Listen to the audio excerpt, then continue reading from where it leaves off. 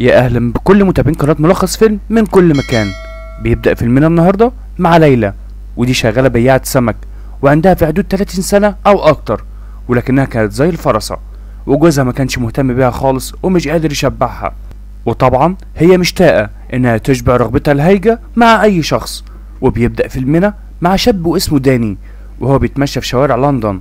وأثناء ما هو بيتمشى راح لجنب الحيطة عشان يعمل زي الناس. وفجأة طبت عليه الشرطة وكانوا عايزين يدفعوه تمن غلطته لأن ممنوع أي حد يطرطر في الشارع. ولحظتها داني هرب منهم وبدأت الشرطة في مطاردته وداني دخل بسرعة لمحل سمك وبدأ يتظاهر وكأنه عايز يشتري منها سمك. وقتها بنشوف ليلى واللي شافته إنه مش بخير وسألته هل هو بخير؟ وهو قال لها أنا بخير يا وحش الكون. ولحظتها كان لسه هيمشي لكن شاف الشرطي لسه موجود خارج محل السمك وهنا بدأ يتظاهر بإنه مريض. وده خلى ليلى وزوجها اسمه بوبي. ياخدوا داني لمنزلهم عشان يهتموا بيه.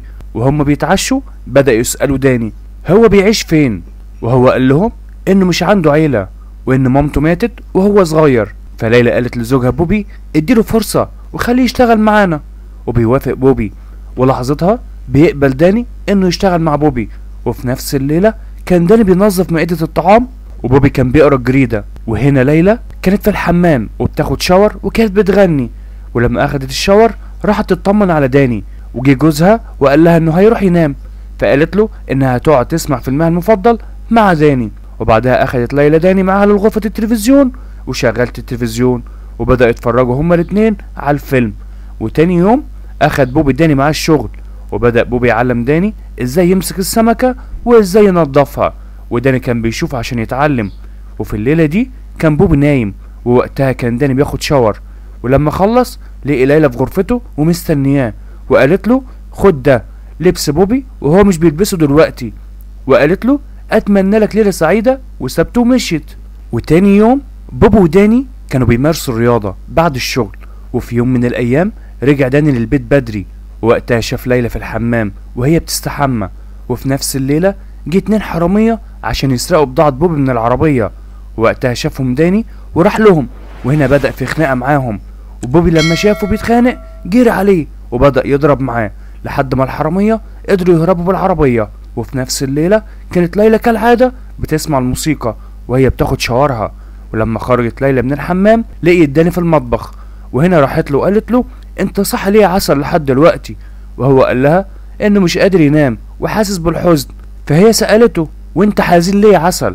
وهو قال لها إنه بيحبها. وكمان كل ما بيشوفها في الحمام بيحس إنه عايز آه، يقنقنها وهنا كانت ليلى مصدومة. ووقتها قربت ليلى من داني وداني حضنها جامد وباسها. وعمل واحد شاي بحليب ولكنهم زودوا السكر. وفي تاني يوم الصبح جوز الست هانم كان بيفطر وبعدها راح لشغله. وبعدها بدأ داني يرجع البيت بدري لأنه ولف على الشاي بحليب مع ليلى. وبعدها بنشوف بوبي بيتفرج على مباراة وكان مندمج جدا معاها قدام التلفزيون.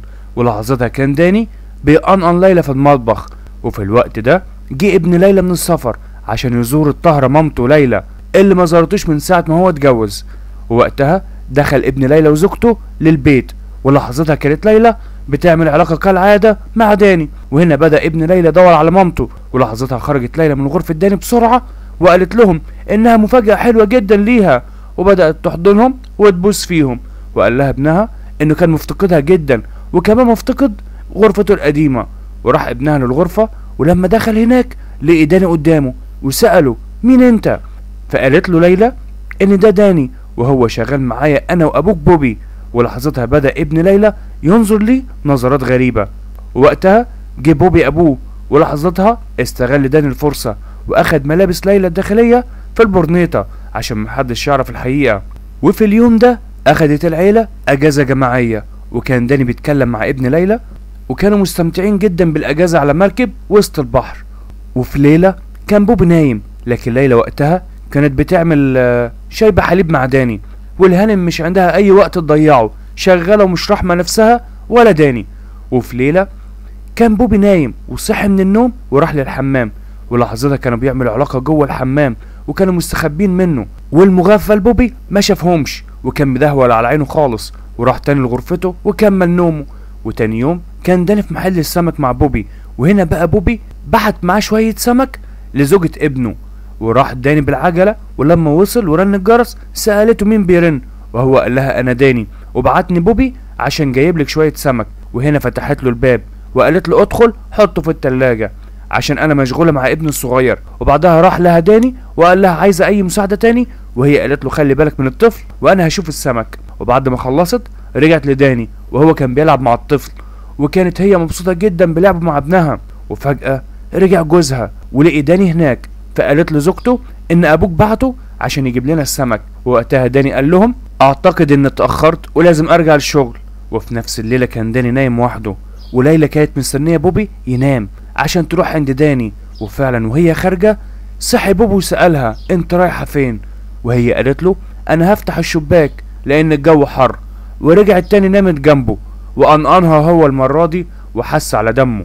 وفي الأجازة الأسبوعية كانوا كلهم مع بعض وبوبي شغل الموسيقى وفضل يرقص مع ليلى. وهما بياكلوا قال لهم بوبي إن عنده مفاجأة ليهم وقال لهم إنه اشترى تلات تذاكر للسفر واحدة ليه والتانية لزوجته والتالتة لداني.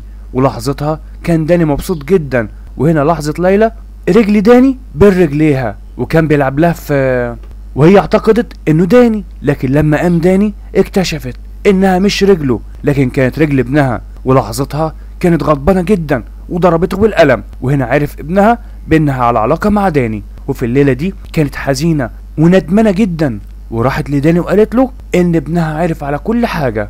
وتاني يوم بعت بوبي داني لبيت ابنه. عشان ياخد لهم السمك. ولما وصل داني لقي زوجة ابن بوبي واقفة عند الباب وهي حزينة. ولحظتها قالت له تعالى نتمشى. وهما بيتمشوا عرف إن زوجها ضربها وقالت له هو افتكر إن عملت معاك علاقة. لما لقاك معايا في البيت اليوم اللي جبت لنا فيه السمك وبدأ داني يهديها وداني ساعدها إنها تمشي من بيت جوزها. ووقتها كان جوزها بيبكي وحزين جدا. واتصل بابوه بوبي وبلغه بإنه اكتشف إن ليلى أمه بتخونه مع داني. ولحظتها كان بوبي مصدوم وحزين جدا وبوبي حاول إنه يقتلهم. وهنا بدأ يتخانق مع داني لكن فجأة مات بوبي بسكتة قلبية. وفي نفس الليلة كان داني حاسس بالندم وبيبكي على الراجل اللي ائتمنه على بيته وعلى اللي هو عمله مع بوبي لأنه كان بيعتبره صديقه المفضل. وبعدها داني كان بيمشي في الشوارع وهو حزين جدا. ووقتها جاله ابن ليلى وقال له هو أنت سعيد دلوقتي بموت أبويا؟ وكمان بسببك خلتني أمشي مراتي من البيت. ولما كان داني ماشي